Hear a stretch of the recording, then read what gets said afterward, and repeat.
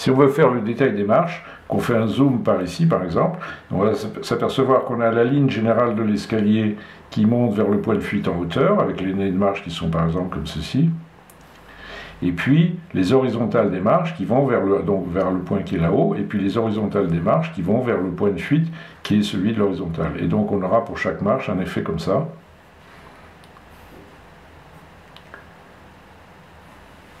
À chaque niveau, on a ça. Et on verra que ça se recoupe parfaitement. Donc les marches ressemblent à ça.